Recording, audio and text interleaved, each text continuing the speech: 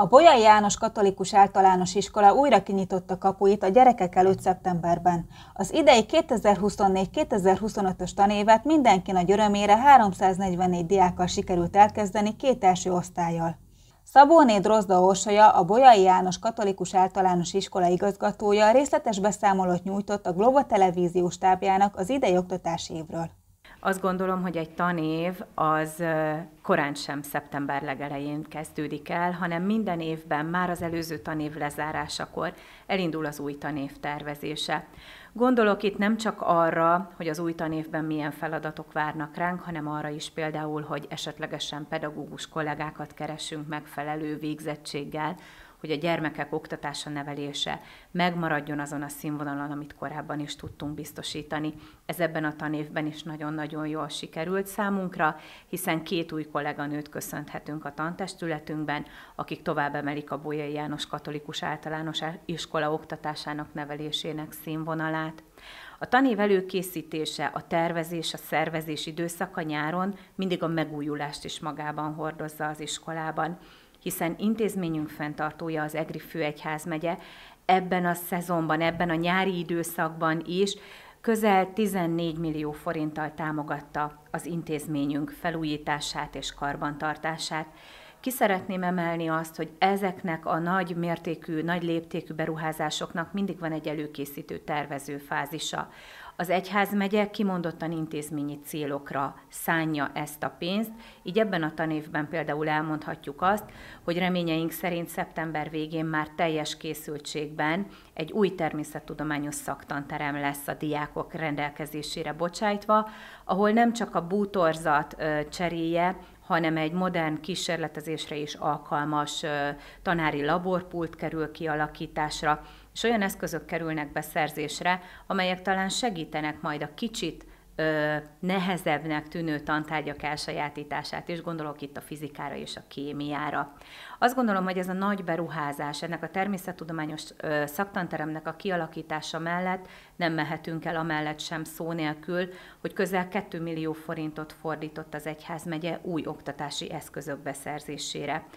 Itt olyan oktatási eszközöket szerettünk volna megvásárolni, és került ezeknek a beszerzésére sor, melyek alsó és felső tagozaton egyaránt a gyermekek mindennapi munkáját, illetve a pedagógusok mindennapi oktató-nevelő munkáját teszik eredményesebbé és színesebbé. Az igazgató hálás szívvel köszöni a szülői munkaközösségnek is azt a támogatást, amit a 2024-2025-ös tanév elején kaptak. Az intézmény által szervezett szülői munkaközösség és nevelői jótékonysági bál bevételéből szintén közel 2 millió forintot gyűjtöttek, amelyből robotika eszközöket szereztek be. Az iskola vezetője úgy gondolja, hogy a 21. században a robotika és a robotokkal való foglalkozás a logikus gondolkodás fejlesztése nélkül már elképzelhetetlen egy iskola életében. Az igazgató beszámolt a háromnapos csibetábor tapasztalatairól és fontosságáról. Ennek a programnak a célja az, hogy az újonnan iskolába lépő diákok, a hozzánk beiratkozott diákok lehetőséget kapjanak kicsit kötetlenebb módon megismerkedni az iskolával, ezzel könnyítve azt a bizonyos szeptemberi reggelt, amikor valóban el kell válni a szülőtől, és valóban be kell ülni az iskolapadba. Azt gondolom, hogy ez a jó gyakorlat nagyon sokat hozzátesz ahhoz, hogy problémamentesen induljon a tanévünk.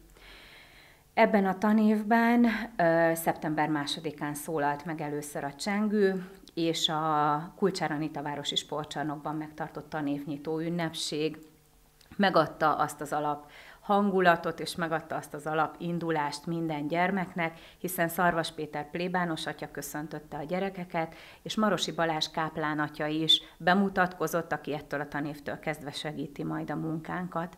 Ezután az iskola vezetője kifejtette véleményét az idei tanévkezdésről.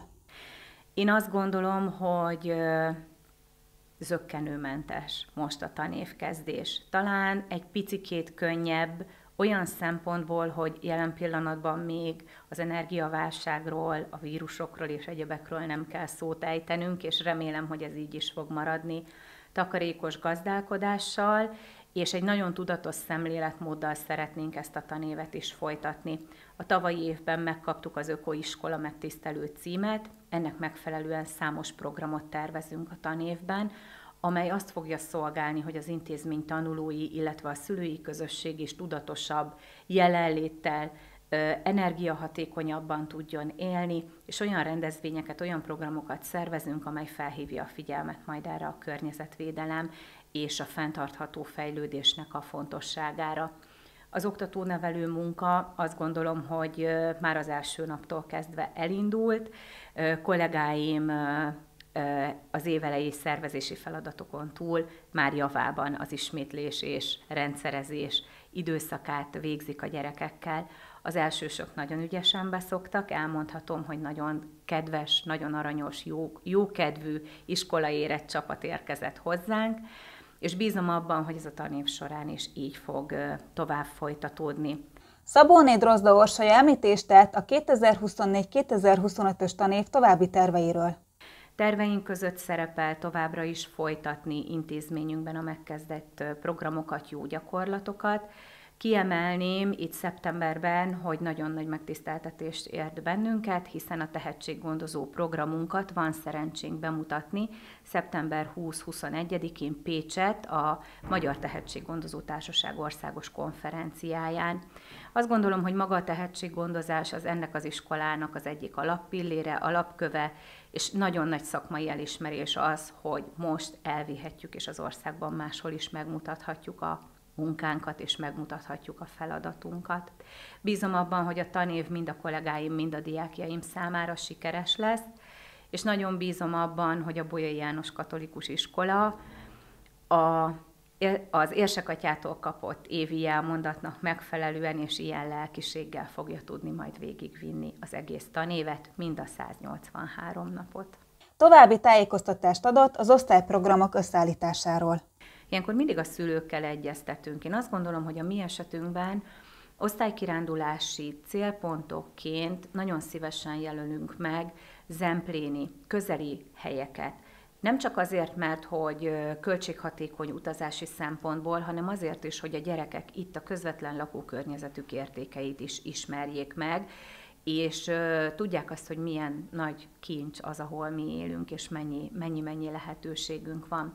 Ilyenkor egyébként mindig az osztály közössége, az osztályfőnök a szülőkkel közösen jelöli ki azt a célt, hogy éppen ez hogyan valósítják meg ebben az évben. Természetesen megvannak a klasszikus úti céljaink, mint például a kicsikékkel kiemelném ugyanúgy Nyíregyházát vagy Tokaj, tehát mind a két település nagyon kedvelt célpont, de van, aki Miskolcon látogat el a Vadasparkba, illetve a Miskolc-Tapolcai részt fedezi fel, de Eger is szerepel akár célpontként, és azt gondolom, hogy, hogy ezek a kirándulások is nagyon, nagyon fontos részét képezik a nevelési munkánknak. Az igazgató és az intézmény tanulói, valamint dolgozói a 2024-2025-ös tanévet is eredményes és sikerekben gazdag évként szeretnénk zárni.